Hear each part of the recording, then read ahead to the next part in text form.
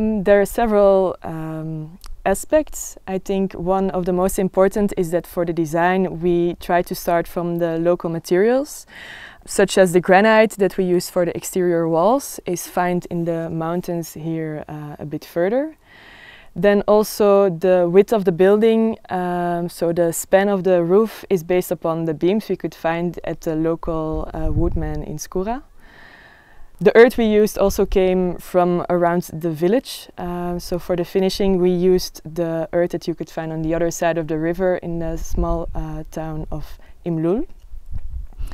Then the social aspects is um, so we work together here, with a team of students, but we also work together with local workers. Uh, so we almost had a team of I think more or less 10 people over the all the months that we built here.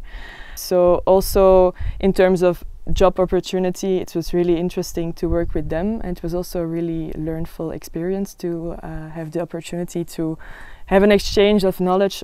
Then also in the whole process of the building, uh, something that we tried to do while we were here is also to um, involve the women um, it was a challenge in the beginning, but I think by the end that um, we managed to also give give them a position in the construction of the building. For example, they helped with the design of the interior. Um, they helped making the carpets.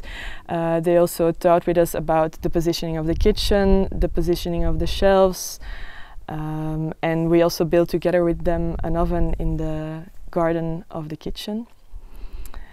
Then another aspect that's also quite remarkable with about building here is the fact that by the end, uh, when we cleaned the construction site, there was almost no waste material. And also during the whole process, we really learned also from the workers that they're used to reusing all the material um, that we had bought in, in the beginning.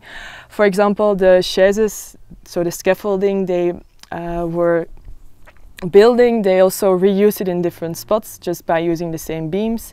Then later those beams were actually also used for the secondary beam structure. Uh, the madriers we used also for the chairs are, are now also um, used for the shelf system in both of the both of the buildings. And also the nails, we didn't have to buy many of them because every time they just took them out of the of the wood, they were making them straight again and they used them again afterwards.